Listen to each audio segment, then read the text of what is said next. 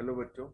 So in this lecture, we are going to solve this question, and this is a question from Rain Man Problems.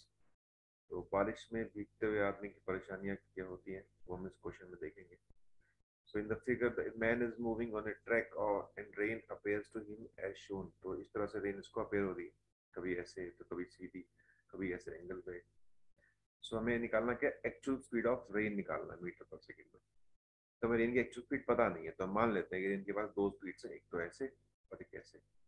तो कुछ x से मान लेते हैं और कुछ वाई मान लेते हैं और रेन कुछ ऐसे गिर रही होगी ठीक तो अब बात करते हैं, इस पॉइंट की से भी बोल देता हूँ, इसमें सी बोल देता हूँ। तो आदमी ऐसे भाग रहा है और अगर मैं इसकी बात करूँ केस से बी ले लेता हूँ एट बी की बात करता हूँ।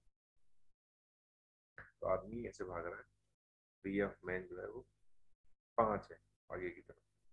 ठीक है। तो बोल सकता हूँ कि अगर मैंने वी को ये माना है एक्स आई कैप और माइनस वाई जे कैप बोल सकते हैं, अगर हमने माना है इसको तो हम देख सकते हैं कि इस आदमी को रेंज सिर्फ़ वर्टिकल मिल रही है। तो अगर मैं वी आर एन निकालू यहाँ पे दैट मीन्स की velocity of rain with respect to man निकाले माइनस करके तो ये निकल के आएगा X minus five I cap minus Y J cap हमने माइनस कर दिया वी आर में से वी एम को। तो ये निकल के वी आर एम आ गया। अब इसका मतलब क्या है? इसका मतलब ये है कि velocity of rain with respect to man जो हमें पता है, ये खाली वर्टिकल है तो इसमें खाली जे कंपोनेंट है एक्स कंपोनेंट है ही नहीं दैट मींस कि ये ज़ीरो होगा। एक्स इक्वल टू पाँच होगा। ये हम समझ सकते हैं डायरेक्ट भी समझ सकते हैं इसको।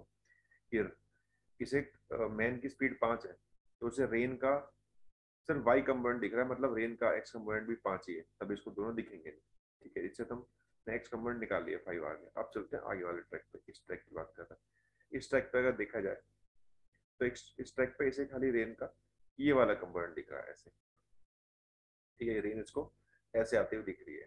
ठीक है, और मैन भी ऐसे ही भाग रहा है। तो अब एक काम करते हैं जो रेन की स्पीड थी, वो इस तरफ़ थी कुछ एक्स जो हम निकाल चुके हैं, पाँच है, और इस तरफ़ स्पीड कुछ वाई थी। ठीक है और ये जो था, ये एंगल था थर्टी तो ये कह रहा है कि इसको सारी स्पीड ऐसे आती हुई दिख रही है।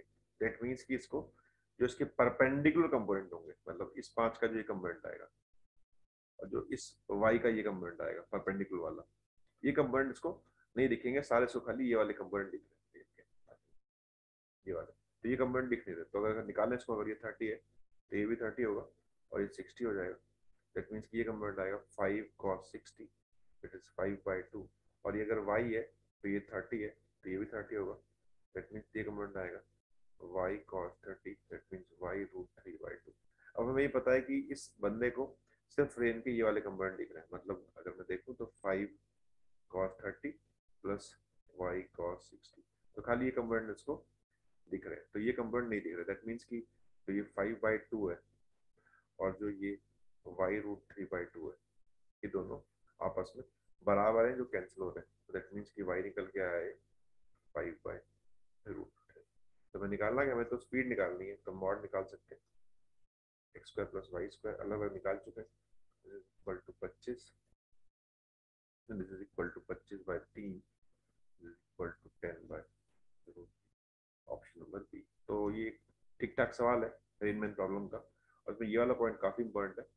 कि इसको और ये सिर्फ़ ट्रेन ऐसे आती दिख रही है मतलब ये कंपोनेंट जो है वो कुछ दिख ही नहीं रहा ज़ीरो है। हमने इसको इक्वल